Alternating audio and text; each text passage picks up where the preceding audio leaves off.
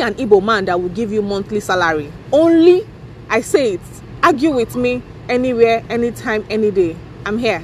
Only an Igbo man will give his wife monthly salary. ịfụta m bọnụ bụ onye igbo maka na abụ m onye igbo ihe mme oyibo amaka oyibo amaka if you see me call me onye igbo Are you in love with an Igbo guy? If you're in love with an Igbo guy, here are five beautiful reasons why you shouldn't marry an Igbo guy if you're in love with one. Here's number one. Number one is because Igbo guys are so hardworking. They are one of the most hardworking men you can find in Nigeria.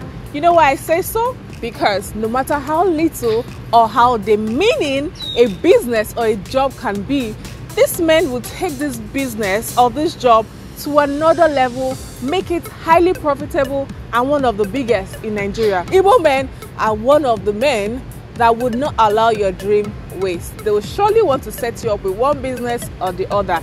They don't just leave their wives hanging or just let you hustle under somebody. They want you yourself to be a business owner of yourself. So, if you do not want someone who is hardworking or someone who will support your dream, please do not go near an Igbo man because an Igbo man, by fire by force, you're going to have a dream and they're going to support that dream of yours. So, please and please and please, if you're in love with an Igbo man and you do not have a dream or a business idea, Ngwanu, Dido. Igbo men and their families, they carry their families on their shoulder like a shoulder pad.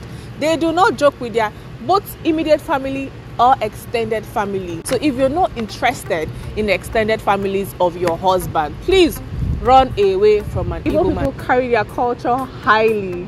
So if you know that you cannot respect your elders, you cannot respect your husband's sisters, you cannot respect your husband's brothers, this is not for you. Dido. My fifth and final reason why you should not dabble into an Igbo man's den is because you're going to be spoiled. An Igbo man will definitely spoil you silly.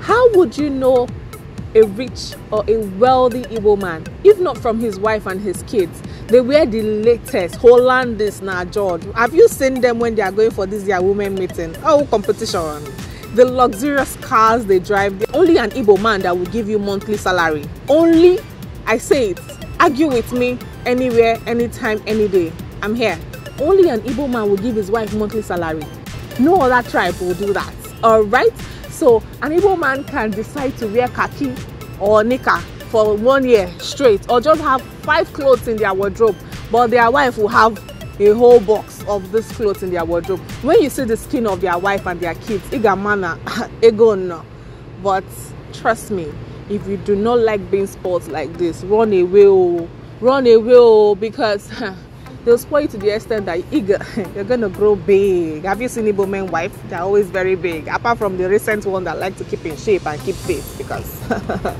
you want to stay sexy for your husband so here are the five things you have to know if you don't want to marry an Igbo guy. If you like this video, please make sure to like and subscribe and drop a comment and I'll be seeing you on my next video. Mwah.